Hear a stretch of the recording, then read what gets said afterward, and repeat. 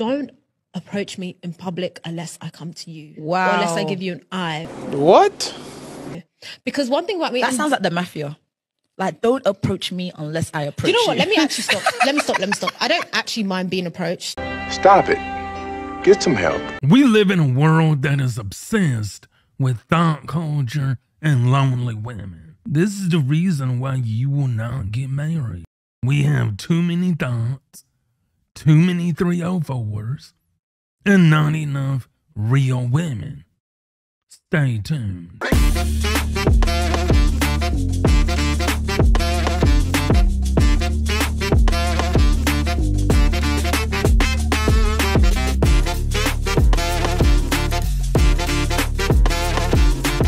What's going on, everybody, and welcome back to another video. Don't forget, hit that like button on your way in, tickle that notification bell. That'll let you know every time we upload content. You know what we're gonna do. Before we do anything, say it with me, y'all. We're gonna roll that clip. I don't mind guys like coming up to me and Yeah, talking yeah, to me. yeah. Let me be really real. Yeah.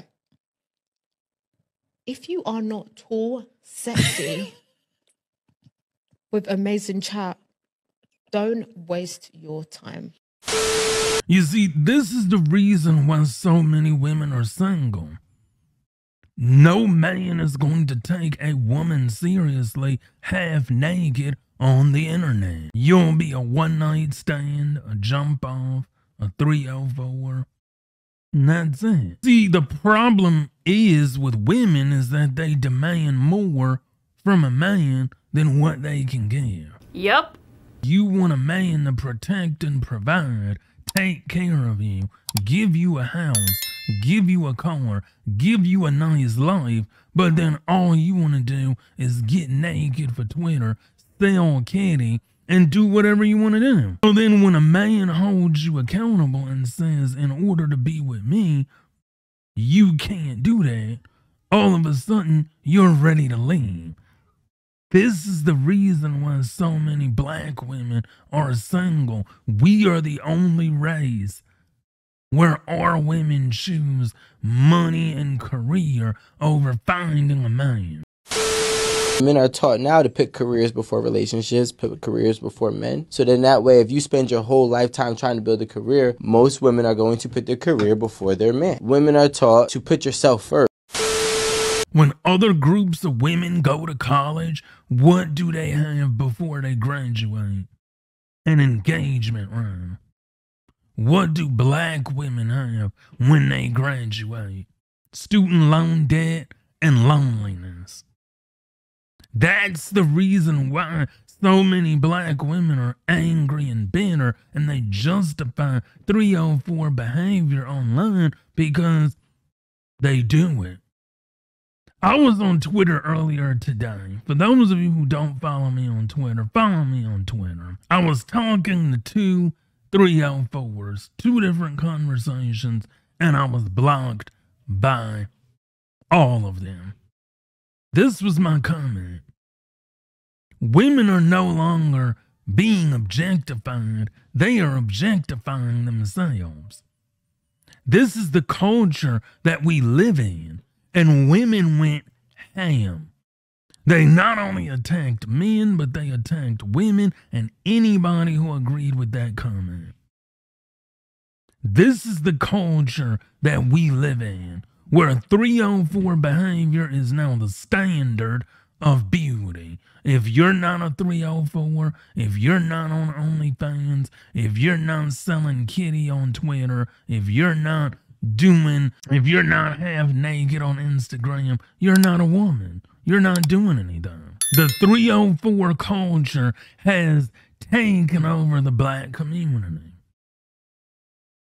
When the world shut down, the 304 culture took over. There's two things that are keeping women from getting married. Number one is 304 culture. Number two is entitlement. We live in a society where women expect a man to hit the ground running on day one, but yet come to terms and can't come to terms with the fact that men want a woman to hit the ground running. We want care. We want understanding. We want commitment. But we're not focused on what men want. We're focused on what women want. We're focused on what can a woman get from a man instead of what can a woman give to a man. That's what I'm talking about. That's why he's the MVP. That's why he's the GOAT. The GOAT. We live in a culture where women would rather shake their tail than shake a salt shaker. They would rather cook on Twitter than cook on a stove. They would rather antagonize, demean, and disgrace themselves than to put on some clothes and be a wholesome woman that can one day become a wife.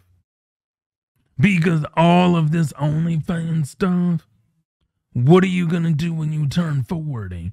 What are you going to do when you turn 50 and 60 and you have no money? What are you going to do when your OnlyFans money runs out? What are you going to do, ladies, when your OnlyFans money runs out?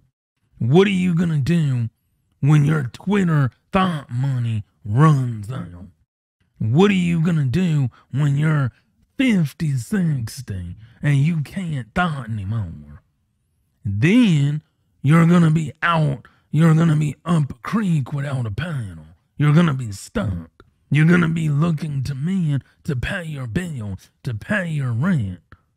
Then you're to be on government assistance, WIC, Social Security, and Medicaid because you can't take care of yourself because you were thot your whole life. This is the problem. Men, we're trying to help. We're tired of it. We want real women. So if we can't get a real woman in America, we're going to go overseas to get real women. That's the truth. And women need to stop being thots 304 and degrading themselves because it's not cute.